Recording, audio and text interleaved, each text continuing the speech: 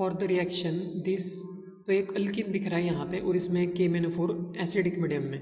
Acidified के मेनो four तो strong oxidising agent होता है। स्ट्रॉन्ग ऑक्सीडाइजिंग एजेंट तो ये अल्किन को ब्रेक करता है, और स्ट्रॉन्ग ऑक्सीडाइजिंग एजेंट है तो यहाँ पे कुछ अल्कोहल कीटोन नहीं डायरेक्ट यहाँ पे कार्बोक्सिलिक एसिड बनेगा। तो ऑक्सीडेटिव ओजोनोलिसिस जैसा होता है एग्जैक्टली exactly उसी टाइप का ये प्रोडक्ट बनेगा।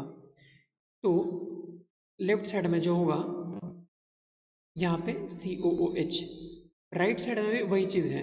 यहाँ पे एक रिंग है और उसके ऊपर जो कार्बन है, यहाँ पे सी ओ ओ एच तो एग्जैक्टली सेम चीज़ बनेगा। तो ऑप्शन टू इस क्वेश्चन का आंसर हो जाएगा, यही इसका मेजर प्रोडक्ट होगा।